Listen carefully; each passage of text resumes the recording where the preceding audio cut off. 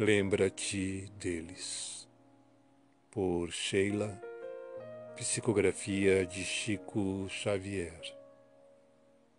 Lembra-te deles, os chamados mortos que, embora invisíveis, não se fizeram ausentes.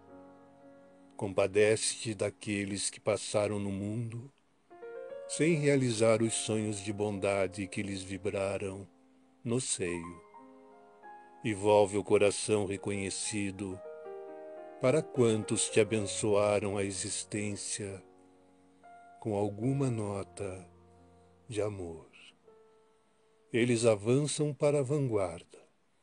Muitas vezes, quando menos felizes, esmolam-te o reconforto de uma oração, e vezes outras, mergulham as dores que os afligem na taça de teu pranto, sequiosos de paz e libertação. Outros muitos, porém, quais aves triunfantes nas rotas da eternidade, buscam-te o coração, o ninho de afeto que o tempo não destruiu, envolvendo-te o ser no calor de branda carícia, para que o desânimo não te entorpeça a faculdade de caminhar. Lembra-te deles e guarda-lhes a lição. Ontem apertavam-te nos braços, partilhando-te a experiência. Hoje, transferidos de plano, colhem os frutos das espécies que semearam. Aguça a audição mental e ouvirás o coro de vozes em que se pronunciam.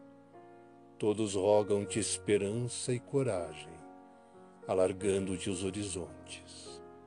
E todos se lembram igualmente de ti, desejando aproveites a riqueza das horas na construção do bem, para a doce morada de tua porvindoura alegria. Porque amanhã estaremos todos novamente reunidos no lar da união sublime, sem lágrimas e sem morte. Assim seja.